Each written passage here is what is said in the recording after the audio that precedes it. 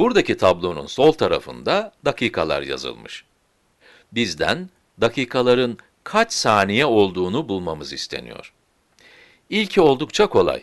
1 dakika 60 saniyeye eşittir. Saniyenin tanımı da bu. 1 saniye, dakikanın 60'ta birine eşittir. Şimdi ikinciye bakalım. 5 dakika kaç saniyedir? Bunu gözümüzde canlandıralım. Burası 1 dakika olsun. Eğer 1 dakika 60 saniyeye eşitse, bu durumda 5 dakika kaç saniyeye eşit olur? Bunu kopyalayarak 5 tane dakika yapalım.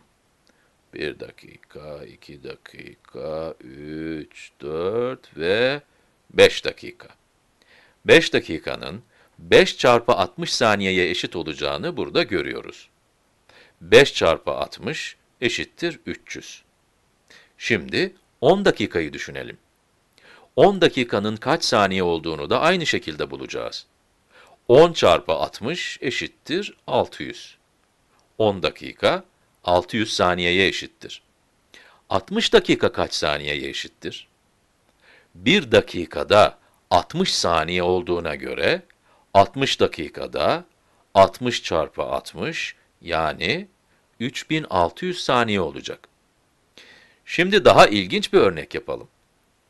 Saat, dakika, saniyeler arasında dönüştürmeyi düşünelim.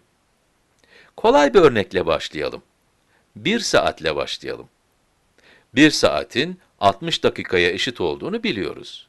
Peki 60 dakika kaç saniyeye eşittir?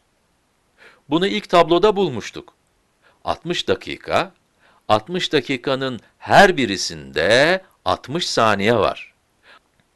60 dakikanın 3600 saniyeye eşit olduğunu burada bulmuştuk. Şimdi 2 saati düşünelim. Eğer 1 saatte 60 dakika varsa, 2 saatte bunun 2 katı kadar dakika olacak. 2 saat çarpı 60 dakika dersek, 120 dakika var. Peki bu kaç saniye eder? Bunu değişik şekillerde düşünebilirsiniz. 120 dakika çarpı 60 saniye diye düşünebilirsiniz. Veya 1 saatte 3600 saniye olduğuna göre, 2 saatte bunun 2 katı kadar saniye olacak diye de düşünebilirsiniz. Biz ikinci yolu kullanalım. 2 saat çarpı 3600 saniye bizi 7200 saniye sonucuna ulaştırır. 10 saat kaç dakikaya ve kaç saniyeye eşittir? 10 saat çarpı 60 dakika dersek, 10 saatte 600 dakika var. 10 saatin kaç dakika olduğunu da bulalım. 10 saat çarpı 3600 saniye dersek, 10 saatin içinde kaç saniye olduğunu da bulalım.